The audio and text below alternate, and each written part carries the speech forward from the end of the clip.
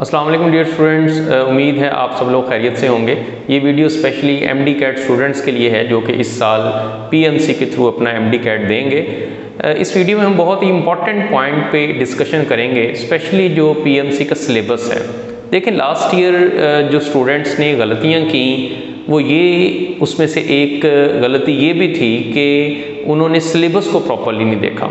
जैसे अगर हम स्पेशली बायोलॉजी की बात करें कि आपने उसके सिलेबस को किस तरह से पढ़ना है, कौन से टॉपिक आपने करने हैं, हर चैप्टर में से कौन से नहीं करने, और कौन सा टॉपिक आपने किस बुक से करना है। अब आपके पास अपनी प्रोवेंसिस की बुक्स हैं, और उसके साथ साथ आप जानते हैं फेडरल की बुक भी यूज़ होती है।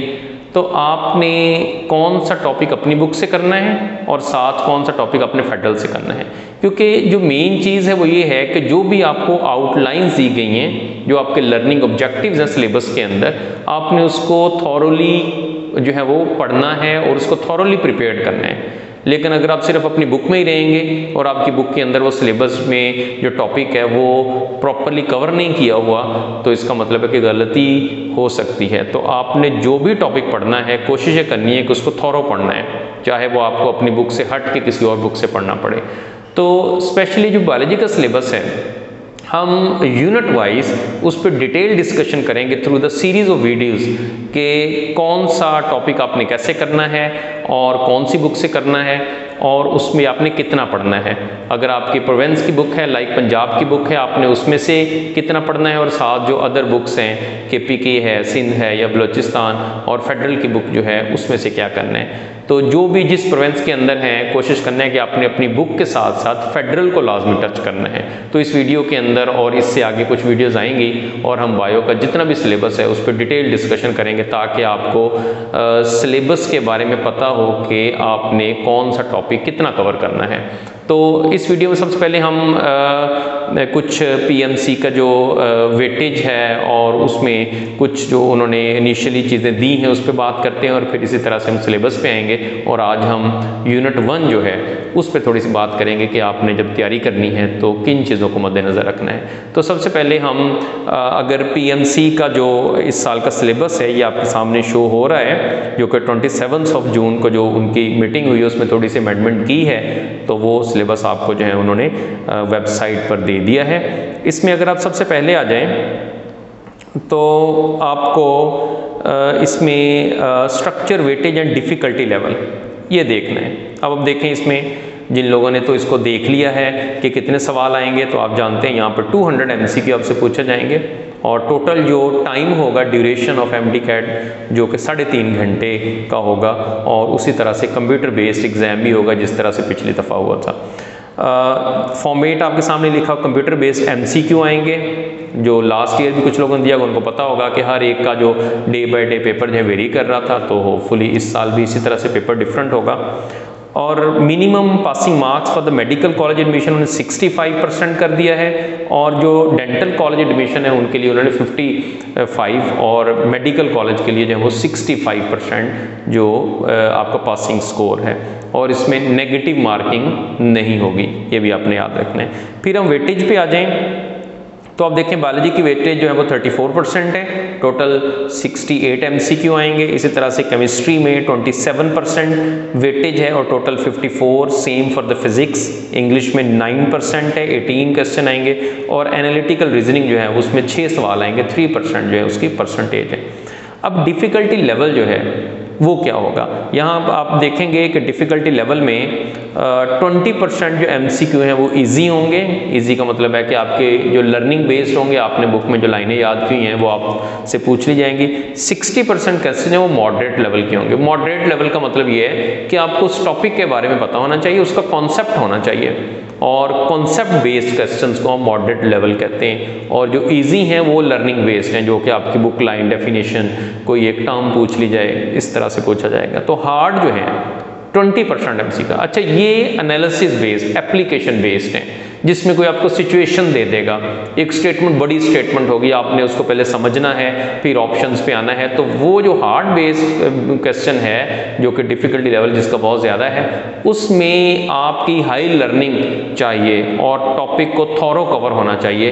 तो 20 सवाल जो हैं यानी कि 20 परसेंट आपका जो है वो उसमें से आएगा। तो देखिए, यही वो 20 परसेंट होता है जो एक्चुअली आपके मेरिट को डिटरमिन करता है। तो इजी तो सारे कर लेंगे मॉडरेट भी बहुत से लोग कर लेंगे, लेकिन जिन्होंने उसको प्रॉपर प्रिपेयर किया होगा और प्लानिंग के साथ किया होगा। प्लानिंग का मतलब यही है कि आपको सिलेबस को देखना है। अभी हम इसके बाद सिलेबस पे आ रहे हैं कि कैसे आपने सिलेबस को पढ़ना है, और सिर्फ़ ये नहीं है कि आपने देख लिया कि एक टॉपिक है तो आप पढ़ लिया दैट्स इनफ आपने उसको प्रॉपरली जो टॉपिक है उसको कवर करना है उसमें कोई लूप होल नहीं होना चाहिए, कोई ऐसा पॉइंट मिस नहीं होना चाहिए जो कि बाद में आपको सवाल में आ जाए और फिर आप वो क्वेश्चन गलत कर दें। तो ये इसके अंदर जो है वो वेटेज आपको मिलेगी और उन्होंने जो डिफ़िकल्टी लेवल है वो वहाँ पर मैंशन कर दिया है। अब हम आते हैं अपने बायोलॉजी के पार्ट पे। कि बायोलॉजी का जो सिलेबस है और आप जानते हैं कि ये एक मेजर सब्जेक्ट है। आपको सिक्सटी एट क्वेश्चन जो है वो आउट ऑफ़ टू हंड्रेड जो बायोलॉजी से पूछे जाएँगे। तो इसका मतलब है कि अगर आप इसको अच्छे से प्रिपेयर कर लें तो आपका काफ़ी हद तक जो आ, काम है वो कवर हो जाता है। और पिछले साल आ, आप जानते हैं कि बायो में से सबसे ज़्यादा मुश्किल क्वेश्चन पूछे गए। और बहुत से लोगों ने बायोलॉजी में गलतियाँ की हैं। तो कोशिश करें कि एक पूरी प्लानिंग के साथ चलें। और सिलेबस को प्रॉपर देख के टॉपिक को प्रिपेयर करें और ये ना हो कि इस साल फिर वही हो कि आप जाएँ एग्ज़ाम में और वहाँ जाएँ तो सवाल डिफरेंट हो रहा आपने, वो पढ़े ही ना हो तो ऐसा नहीं होना चाहिए। तो हम आते हैं सिलेबस पे कि सिलेबस जो बायोलॉजी का है। अब जब बायोलॉजी के सिलेबस में हम देखते हैं, हमारे पास थर्टीन जो है वो आउटलाइंस हैं कंटेंट हैं। आप देखते हैं, सबसे पहले बायोडाइवर्सिटी है acellular life variety of life आज हम इस पर बात करेंगे और फिर नेक्स्ट वीडियो के अंदर हम वन बाय वन और होपफुली वन और टू वीक के अंदर हम ये कंप्लीट करेंगे और इससे आपको काफ़ी हेल्प मिलेगी कि आपने सिलेबस को कैसे प्रिपेयर करना है और आप एक दफ़ा सिलेबस से भी गो थ्रू हो जाएँगे। सेकंड बायो एनर्जेटिक्स का है। थर्ड बायोमोलिक्यूल्स हैं सेल स्ट्रक्चर एंड फ़ंक्शन का है। फोर्थ कोऑर्डिनेशन कंट्रोल नर्वस और केमिकल कोऑर्डिनेशन पे फिफ्थ आपका है।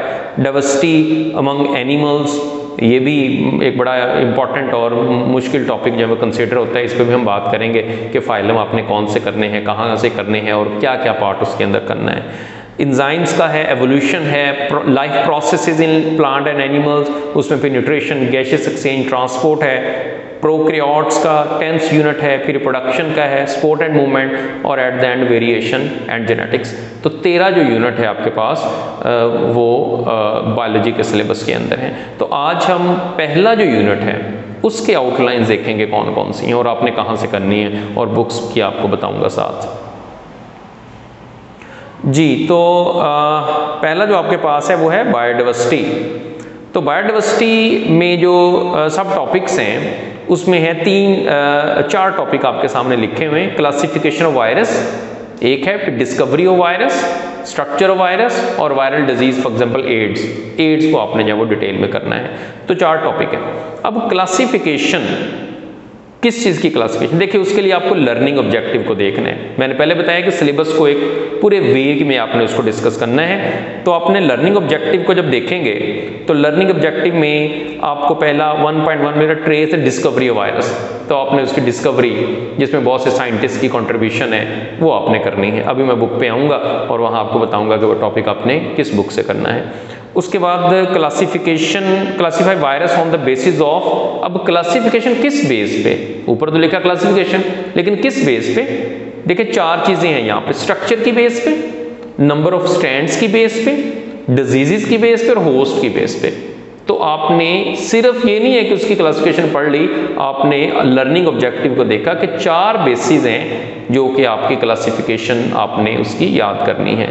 उसके बाद identified the symptom mode of transmission and cause of viral disease ये तीन जो चीज़ें हैं आपने कवर करनी। देखिए, ऊपर आपसे सिर्फ़ उसने कहा एड्स अब आपकी बुक के अंदर अगर सिम्टम उसकी प्रॉपर नहीं है, या मोड ऑफ़ ट्रांसमिशन नहीं दिया हुआ तो इसका मतलब आपने उसको अदर बुक से कवर करना है और उसमें ज़्यादा इंपॉर्टेंट जो है वो फेडरल की बुक है, वो मैंने यहाँ पे रखी हुई है, आपको दिखाता हूँ अभी कि कौन सा टॉपिक है, कैसे आपने करना है। तो ये जो भी आगे आउटलाइन आपने इस तरह से पढ़नी है कि डिटेल उसकी लर्निंग ऑब्जेक्टिव की आपने क्या सीखना है, ठीक है? तो अब हम देखते हैं कि सबसे पहले डिस्कवरी ऑफ़ वायरस देखें मेरे पास कुछ मैंने बुक्स यहाँ पे ओपन की हैं आपको स्क्रीन पे नज़र आएँगी। आ, और हम उसमें देखते हैं एक एक करके। जैसे अगर मैं बायोलॉजी की बुक ये पंजाब की बुक है जो आपको यहाँ पे नज़र आ रही है इसमें हमारे पास जो टॉपिक हैं उसमें डिस्कवरी ऑफ़ वायरस में आपको कुछ साइंटिस्ट की जो डिस्कवरी है वो बताई गई है यहाँ पे। जैसे ये वायरसेस का टॉपिक है। तो आपने इसको जो है वो यहाँ से पढ़ना है। एक तो ये वाला पेज आपका है 72 page Punjab text book board से आपने इसको सारे का सारा पढ़ना है। इसमें वायरसेस की डिस्कवरी दी हुई है, यहाँ तक, ठीक है? और फिर आगे करेक्टर्स हैं और स्ट्रक्चर है, ये टॉपिक आपने पढ़ लेना है यहाँ से।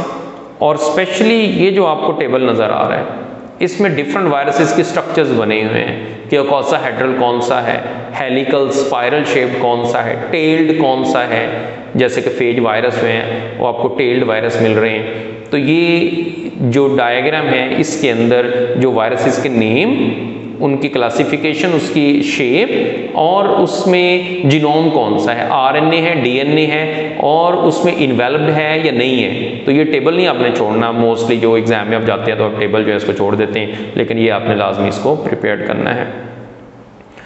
अच्छा उसके बाद अगर हम आ जाते हैं क्लासिफिकेशन पे। इसके बाद मैंने फेडरल की बुक पे भी आऊँगा। तो जो पंजाब में क्लासिफिकेशन लिखी हुई है वायरसेस की, वो यहाँ पर तीन जो वायरसेस के बारे में लिखा हुआ है कि rod shape TMV spherical polio virus और टेडपोल लाइक बैक्टीरियोफेज वायरस बस ये तीन लिखा हुआ है। तो इसका मतलब यहाँ से क्लासिफिकेशन आपकी कवर नहीं होगी। आपने इसको प्रॉपर जो है वो पढ़ना है और मैं फेडरल की बुक से आपको दिखाता हूँ कि आपने क्या पढ़ना है। बहरहाल ये आपने पढ़ लेना है यहाँ से। वायरल डिज़ीज़ भी आपने कर लेनी है और इसी तरह से एड्स जो है, जितना आपके यहाँ पे लिखा हुआ है, ये आपने लाजमी कर लेना है। ठीक है लाइफ साइकिल बना हुआ है। लेकिन मैंने बताया कि ये इनफ नहीं है। आपने इसके साथ, मैंने जो देखा है तो फेडरल की बुक आपने लाजमी इसके लिए पढ़नी है। स्पेशली यूनिट वन, जो बायोडाइवर्सिटी जो डाइवर्सिटी इन लाइफ है, यानी वायरसेस के लिए। अब मैं फेडरल की बुक पर आता हूँ।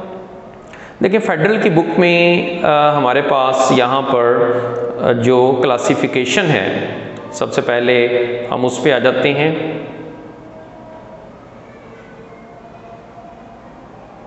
जी यहाँ ये देखिए क्लासिफिकेशन यहाँ पर है। क्लासिफिकेशन ऑफ़ द वायरसेस तो यहाँ है बाल्टीमोर क्लासिफिकेशन ये आपके सामने लिखी हुई है। देखिए क्लासिफिकेशन ये है जिनोम की बेस की क्लासिफिकेशन इसके अंदर जो छः ग्रुप्स हैं, ये आपने लाजमी प्रिपेयर करने हैं कि जो वायरस हैं, वो कौन कौन से डबल स्टैंडर्ड डीएनए वायरस हैं कौन कौन से सिंगल स्टैंडर्ड डीएनए हैं कौन से डीएस आरएनए है? डबल स्टैंडर्ड आरएनए कौन से सिंगल स्टैंडर्ड आरएनए है? Positive sense single standard RNA negative sense single standard RNA reverse transcriptase double standard reverse transcriptase circular double standard तो ये आपने टॉपिक यहाँ से पढ़ना है क्लासिफिकेशन वायरसेस का फेडरल की बुक से, ये सारे का सारा। उसके बाद classification on the basis of host भी दी हुई है। आप देखिए प्लांट वायरस है। एनिमल वायरस है बैक्टीरियोफेज वायरस है, ये होस्ट की बेस की क्लासिफिकेशन है।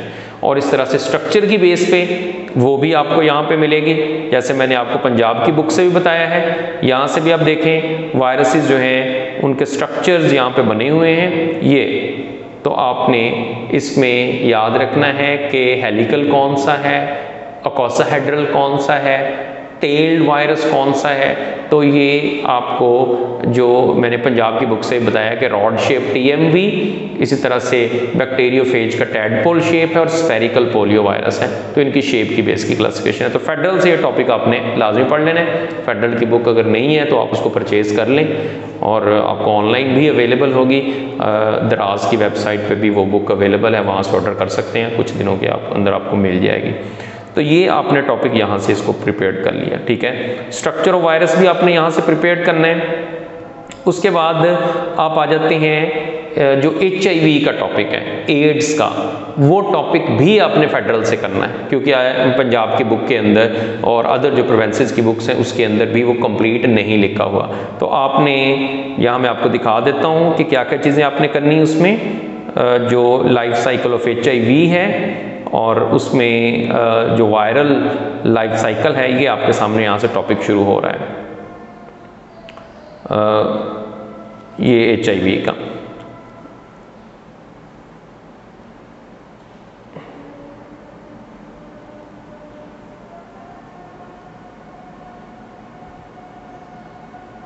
ये लाइफ साइकिल ऑफ़ एचआईवी का टॉपिक जो है वो स्टार्ट हो रहा है। इस पर अब देखें, ये सारे का सारा आपने इस टॉपिक यहाँ से करना है। यहाँ बड़ी डिटेल में दिया हुआ है, उसका लाइफ साइकिल भी यहाँ पे दिया हुआ है। और इसके साथ जो बहुत इंपॉर्टेंट है वो सिम्टम्स ऑफ़ एड्स देखें, आपकी बुक में जस्ट सिम्टम्स लिख दी हैं, लेकिन यहाँ देखें एड सिम्टमेटिक कैरियर्स कौन से होते हैं? फिर AIDS related complex A R C फिर फुल ब्लॉन एड ये बुक में नहीं दिया हुआ तो ये आपने यहाँ से पढ़ना है। फिर opportunistic disease virus is one of the opportunistic disease क्योंकि ये ऐसे पर्सन के अंदर होता है जिसमें एबिलिटी नहीं होती अगेंस्ट द अदर जर्म्स के वो डिफेंड कर सके तो ये एक टर्म पूछी जा सकती है। अगर आपकी बुक में नहीं लिखा हुआ तो आपके लिए प्रॉब्लमेटिक होगा कि कौन सी अपॉर्चुनिस्टिक डिज़ीज़ है। फिर उसके बाद आ जाते हैं इसकी ट्रीटमेंट ऑफ़ एड्स देखिए ट्रीटमेंट ऑफ़ एड्स भी नहीं दिया हुआ। डिफरेंट जो प्रोवेंसेस की बुक है, पंजाब में भी नहीं दिया हुआ। तो आपने वो भी फेडरल से करना है, ठीक है? ये यहाँ पे ट्रीटमेंट दिया हुआ है। ट्रीटमेंट किस तरह से है? फिर कंट्रोल में ये against the transmission of HIV तो यहाँ जो टॉपिक है, वो बड़ी डिटेल में दिया हुआ है। एड्स इन पाकिस्तान एक बॉक्स है, ये भी आपने पढ़ना है। तो इसका मतलब ये हुआ कि यूनिट वन के लिए जो कि acellular life variety of life है, उसके लिए आपने पंजाब की बुक को जो आपका प्रिवेंस है, उसकी बुक को और साथ आपने वो टॉपिक जो है, वो फेडरल से कवर करने हैं। क्योंकि फेडरल में एड्स का टॉपिक और वायरस की जो क्लासिफिकेशन का टॉपिक है, वो डिटेल में दिया गया है। तो इसी तरह से हम नेक्स्ट वीडियोस के अंदर आपके जो बायो के 13 यूनिट्स हैं, उसमें हर एक के अंदर हम उसको एनालाइज करेंगे कि कौन से आउटलाइंस हैं लर्निंग ऑब्जेक्टिव क्या है, कौन से टॉपिक को आपके पढ़ना है, कौन से टॉपिक को आपने छोड़ना है, और कौन सा टॉपिक आपने किस बुक से करना है? तो हम एक पूरा जो हमारा लेक्चर सीरीज़ है ये कोई इसमें तेरह चौदह वीडियोस होंगी। हम एक एक करके इसको जो है वो पढ़ते रहेंगे। सो so, इस तरह से आपको इस चैनल से जो वीडियोस हैं एम डी कैट से रिलेटेड वो मिलती रहेंगी। तो जिन लोगों ने इसको सब्सक्राइब नहीं किया हुआ वो इसको सब्सक्राइब कर लें ताकि आपको जो वीडियो है जैसे ही अपलोड हो आपको उसकी इन्फॉर्मेशन मिल जाए। So that's all for today Allah हाफिज़।